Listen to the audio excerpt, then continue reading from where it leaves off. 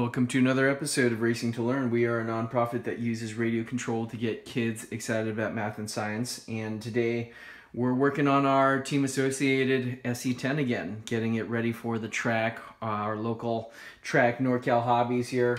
Um, and uh, we're gonna we're gonna finish just taking care of the servo on this truck. So first thing we're gonna do is we're gonna remove the servo saver from this uh, the servo that didn't fit, right? I'm just gonna pop this off the top here. And put this one over to the side. And hopefully we have the same amount of teeth on these this servo. Probably something we should have tested. Um, so it was centered. Actually, another thing you want to do before mounting a servo is you want to make sure that the servo is centered and the trim on your radio is set appropriately. So let's go ahead and plug in uh, a battery here, plug in the servo. Right, the servo isn't keyed, so tip is if if it isn't keyed, you don't know which way to plug it in. Make sure that the shiny parts on the connector, right, the pins, um, let me get a closer view here, right, those are facing up. So or you can match the colors of the wires there. You know, white should be under white if you have another connector already plugged in or whatnot. So let's go ahead and turn this on. Turn on our radio. And actually, I'm gonna wanna switch this over to a new model. Let me do this here. This is our, so I'm gonna create a new entry.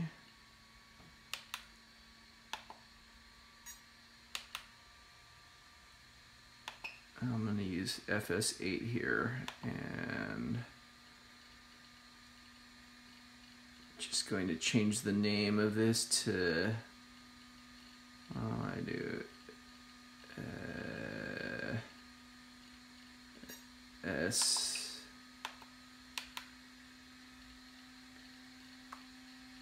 change this to SC1.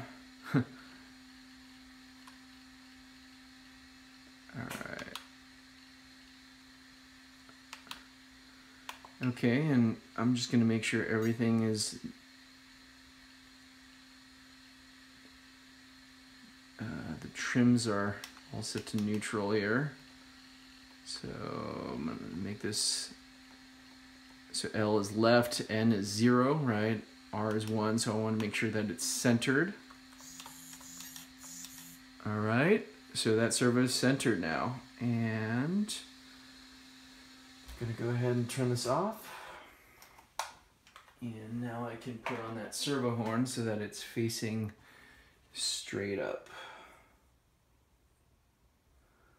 So we're going to uh, want to make it look like this here. All right. So just going to line it up so that it's perfectly vertical and this is a metal geared servo so you'll want or I'll want to put some thread lock at the end of the screw. Just want to make sure that this uh, looks like I might have to find another screw here.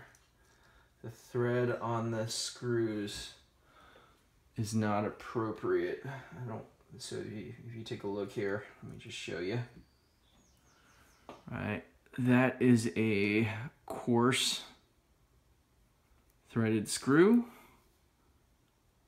And it seems like just, just the feel of it, that the screw isn't going in very smoothly when I turn it. So I don't want to cross thread um, this servo. So let's go ahead and see. I might have to go back over to the garage here or I can take off. Uh, let's go ahead and grab this screw off of this other servo. So it's always nice having extra uh, that one looks like it's a coarse threaded too. So let's check this old Traxxas servo. Hopefully this will be a fine threaded screw and all right we're in business here. So this is a fine threaded screw. And you don't want to cross thread those. I don't know if you guys can see that black the threads on this but it, they're definitely a lot smaller threads than on uh, on that other screw that we had previously so hopefully this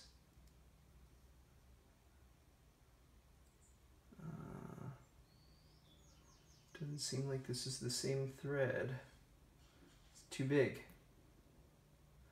So I'm to dig around here for an appropriately sized screw. Again, uh, important things to note when you're building or you know putting together a car um, or a truck here. Uh, thanks again for watching. Please like, comment, subscribe, and we'll catch you next time.